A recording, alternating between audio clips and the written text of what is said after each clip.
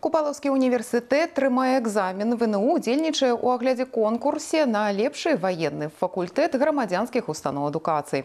Такі маюць сем вышэйшых школ Беларусі. Раз у два гады яны праходзяць праверку міністэрства абароны. У поле зроку спецыяльнай камісіі сем напрамкаў.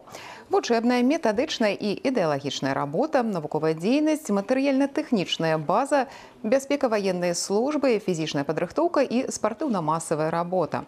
Акрамя таго, правяраючыя робяць кантрольныя зрэзы па фізічнай, агнявой, ваенна-медыцынскай падрыхтоўцы і ваеннай тапаграфіі. Праводзяць тэсціраванне курсантаў і ацэньваюць заняткі па пэўных дысцыплінах.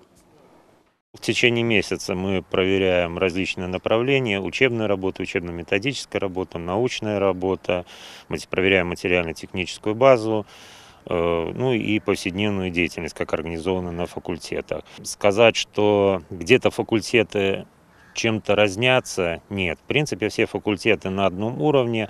Ну, здесь должны факультеты показать свою системную работу, системность в работе, потому что если где-то в течение периода, который до смотра конкурса, где-то что-то выполнялось не совсем качественно, не совсем корректно, то, соответственно, результат оказывается достаточно низкий. Что касается военного факультета Гродненского, насколько я приезжаю, всегда люди работают системно, стараются, выполняют все, что предписывается.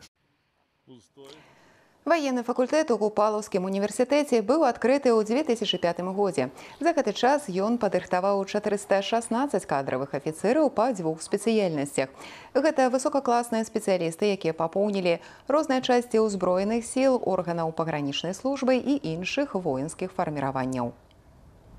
В этом году военный факультет выпустил в 12 раз выпускников по двум специальностям тыловое обеспечение войск Э, и физическая подготовка военнослужащих. Наши выпускники э, с честью и гордостью проходят службу в Министерстве обороны, в воинских частях Министерства обороны, в Государственном пограничном комитете, во внутренних войсках Министерства внутренних дел, а также э, в Департаменте исполнения наказаний Министерства внутренних дел. Заказчики очень довольны нашими выпускниками, их профессиональной деятельностью. На данный момент обучается 102 курсанта, по двум специальностям. Ну и в следующем году э, мы начинаем подготовку э, курсантов еще по одному направлению э, специальности тылового обеспечения войск. Это горюче-смазочными материалами. Экзамен працягваецца. Не выключана, што сёлета военны факультэт Купалаўскага можа стаць пераможцам агляду конкурсу, як гэта было ў 2013. Вынікі камісія гучаць да канца лістапада.